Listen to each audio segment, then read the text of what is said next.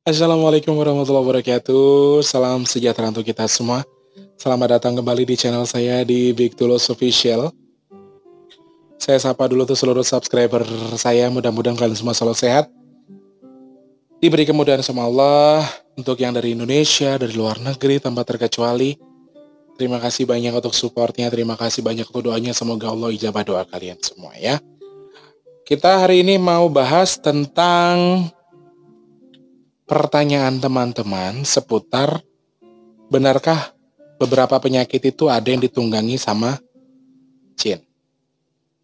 Sebelum kita ulas pertanyaan kalian itu, silakan ingat pencet tombol merahnya dulu, hidupkan loncengnya, kemudian di like dan juga komen kalau ada yang mau kalian sampaikan ke aku ya.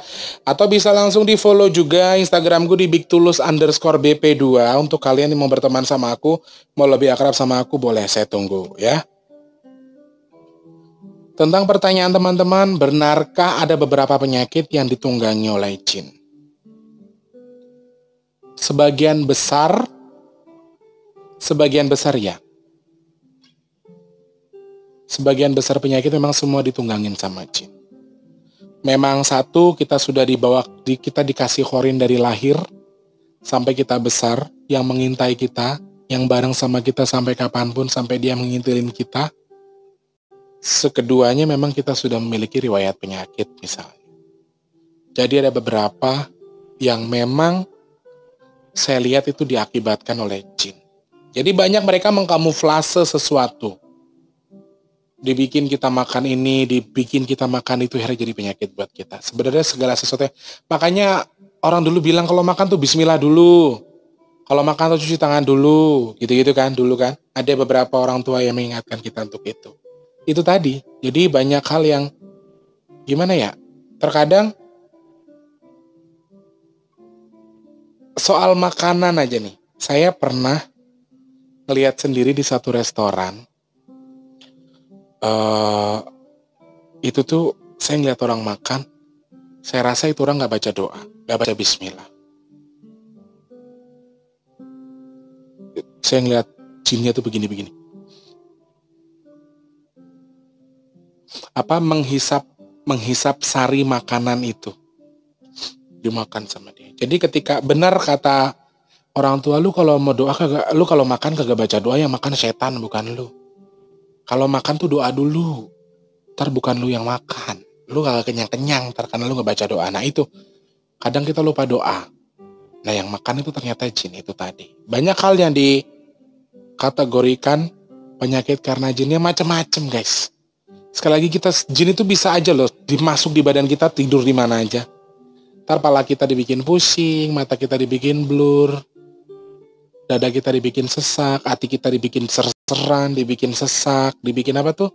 Ragu-ragu itu ulahnya jin. Ada beberapa penyakit, tapi sorry saya, saya garis bawahi sekali lagi, tidak semua penyakit ditunggangi oleh jin, tapi ada beberapa yang memang ditunggangi. Nah, pertanyaan khususnya adalah, kalau menurut Mas Tulus pribadi, ini menurut saya, Corona atau COVID-19 ini benar tidak ditunggangi jin Seribu persen saya jawab iya. Karena banyak teman-teman gaib saya dulu sebelum saya datang ke Ustadz Danu kan itu sudah sudah corona ya, sudah corona dan uh, saya sempat bertanya sama mereka, itu tuh apa sebenarnya? Itu benar nggak begini, begini, begini? Teman-teman saya jawabannya ya begitu doang. Pokoknya ada campur tangan di sini. Ada campur tangan sesuatu. Enggak selalu. Satu memang itu sudah ditak... Sekali lagi ya, apa pun itu, semua itu sudah mendapatkan izin dari Allah Subhanahu wa taala. Diizinkan sama Allah dijadikan buat apa? Ya buat ujian buat yang hidup. Buat ujian kita-kita ini loh. Orang-orang seperti kita ini. Entah itu nanti akan ada hikmah apa kita nggak tahu. Tapi intinya kalau kalian bertanya corona itu ada tunggangan, ya saya tahu betul. Saya lihat betul karena di entah di hari apa itu ya. Teman saya bilang begini. Sebelum itu datang, bahkan orang-orang sini juga saya sempat ngomong sama teman-teman saya ya. kayaknya mau ada sesuatu apa ya ini ya itu saya ngomong sendiri tuh sama teman-teman saya teman-teman saya nyata ya ada apa ini ya gitu terus selang berapa hari dari saya ngomong itu eh teman-teman saya bilang begini e, tulus lihat dah ke langit. Lihat dah keluar. Gitu. Ada apa? Jadi di langit itu saya lihat ada beberapa kayak berantem gitu loh guys. Kayak cahaya ketemu cahaya pecah cahaya ketemu cahaya pecah ter ter ter, ter gitu kayak tabrak tabrakan gitu. subhanallah itu apa ya? Itu gambaran apa sebenarnya? Eh nggak lama viral datu berita yang di Wuhan. Begini begini begini. Oh jadi ini. Jadi kata teman-teman saya gini sementara sih kita masih aman waktu itu gini ya. Aman karena kami uh, karomah-karomah dari sesuatu yang ada di Indonesia ini masih bisa nutupin itu. Tapi suatu ketika nanti kalau sudah sudah diizinkan sama Allah untuk dibuka pasti akan sampai ke Indonesia. Dan memang real saya. Belum berapa lama mereka bilang emang bener kan langsung ada kan beberapa yang di Indonesia kan. Jadi sebenarnya awal masuknya itu kan dari orang dari luar. Kalau di Indonesia sendiri tidak ada orang masuk atau kami tidak ada yang keluar, kami nggak akan kena apa-apa karena sebenarnya ada sesuatu yang melindungi Indonesia. Apa itu? Yaitu izinnya Allah. Allah yang mengizinkan sesuatu melindungi itu. Tidak perlu saya sebutkan itu apa. Kalian yang punya kemampuan khusus pasti sudah paham lah itu. Itu apa. Jadi Indonesia itu awalnya masih dilindungi. Tapi ternyata ya sekali lagi itu Allah jadikan sebagai ujian buat kita. Allah mengizinkan untuk masuk ke Indonesia ya sudah jadi. Makanya saya bilang, kenapa corona ini agak bisa dibilang nggak ada ada tunggangan tunggangan sama jin ya itu karena sebelum datang aja tuh di di alam mereka udah pada denger nanti mau ada begini begini begini begini. Teman kan aku nggak tahu ya karena mereka kan hanya hanya ngomong biasa aja. Besok tuh mau ada yang terjadi. Nah apa itu ya pokoknya banyak uang mati, banyak uang loro kan gitu. Jadi intinya yang mereka bicarakan tuh penyakit. Jadi sebelum ya satu memang itu Allah izinkan jadi virus, virus, virus. Di sisi lain memang jin memanfaatkan itu untuk lebih gampang menyebarkan. Ya intinya ini kalau ngomongin dia.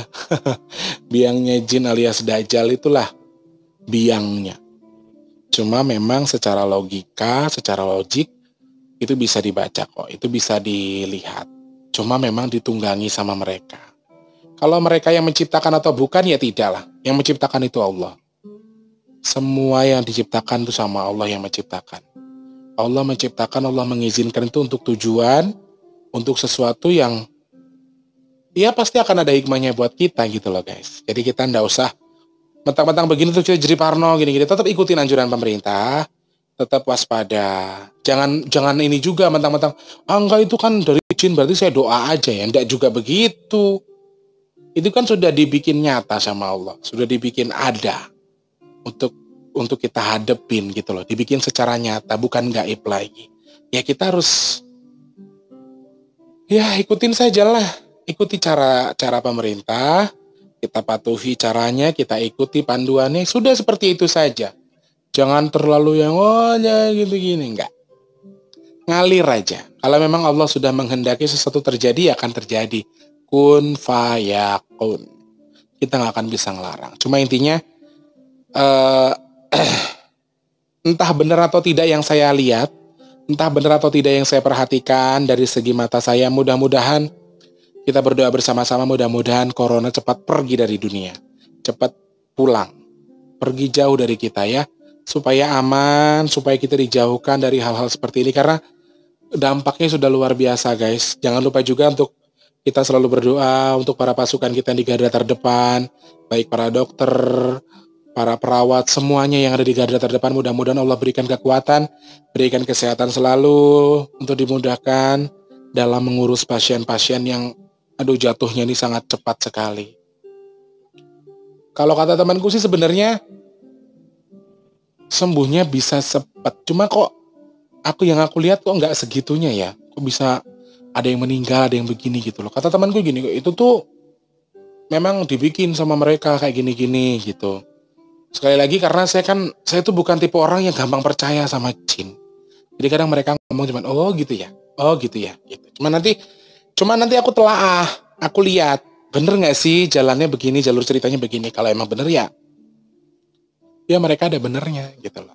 Jadi ya sekali lagi secara harfiahnya memang itu penyakit dibikin nyata, diizinkan sama Allah untuk ada di dunia tujuannya pasti akan ada hikmah di balik itu semua. Jadi kita sebagai manusia meskipun dari segi pandang saya itu memang ada ada tunggangan atau ada ada ada campur tangan syaitan atau jin di situ, setidaknya ya jadi pelajaran buat kita saja. Mudah-mudahan ke depannya kita jangan sampai lagi mengalami hal begitu.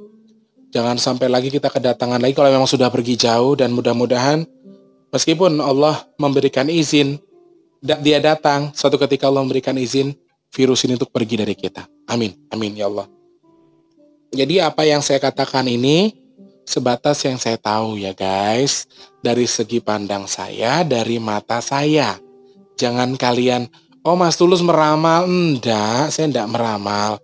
Saya mengatakan apa yang ingin saya katakan. Saya mengatakan apa yang saya lihat. Saya mengatakan dari segi pandang saya itu yang kalian tanyakan kan ada beberapa pertanyaan yaitu tentang penyakit. Ada beberapa penyakit yang memang disebabkan oleh jin. Ada, tapi tidak semua penyakit dari jin. Oke. Lalu kalau kalian tanya secara garis besar corona itu ada campur tangan jin nggak sih? Kalau kata saya iya. Pistol, pokoknya iya. Silahkan. Mau kalau dari segi ilmu pengetahuan ya mungkin nggak akan terdetek ya guys. Cuman kalau dari beberapa kalian yang punya kemampuan khusus diberikan Allah untuk menilai itu secara gaib, secara halus, secara alam bawah sadar ya kalian akan paham. Oh iya benar ada gangguan gini kok, ada ada bantuan dari si A si B ya sudahlah ya. Sekali lagi mudah-mudahan meskipun itu semua sudah diberikan izin sama Allah datang, mudah-mudahan Allah juga mengizinkan dia untuk pergi dari sini. Ya. Dan meskipun ditunggangi oleh apa pun itu, kita tetap harus yakin waspada, ikuti anjuran pemerintah, tetap ibadah, doa sama Allah mudah-mudahan kita dijauhkan dari sesuatu itu. Makanya gampang banget tularnya yaitu karena campur tangan itu tadi loh, campur tangan jin itu tadi yang bikin mereka gampang tertular. Gitu ya. Sekali lagi mudah-mudahan Allah segera menjauhkan kita dari virus corona dan mudah-mudahan juga untuk corona ini semakin dijauhkan sama Allah dan segera disembuhkan orang-orang yang sakit. Untuk yang sedang merawat beberapa pasien corona untuk pasukan garda terdepan, dokter dan lain-lain sebagainya yang ada di depan pemerintah. Semoga Allah berikan kekuatan, berikan kemudahan untuk mereka-mereka semua dan Allah lindungi. Jangan sampai ada yang terkenal lagi jadi korban kita ya. Sekali lagi, ini segi pandang saya, budayakan nonton sampai habis dulu baru komentar ya. Mudah-mudahan Allah jauhkan kita dari penyakit yang tidak baik. Mudah-mudahan Allah sehatkan kita, Allah mudahkan rizki kita, Allah gampangkan untuk segala urusan baik kita. Sekali lagi terima kasih untuk sudah like, subscribe, dan juga komen. Untuk yang belum dibantu untuk like, subscribe, dan juga komen. Sekarang. Oke? Terima kasih banyak saya Tulus Rianto mengucapkan semoga puas sekali lagi untuk jawaban yang saya lontarkan. Itu pertanyaan kalian saya jawab dengan apa yang saya tahu, yang saya pahami. Gitu ya. Saya terus Rianto mohon pamit. Wassalamualaikum warahmatullahi wabarakatuh. Salam sejahtera untuk kita semua.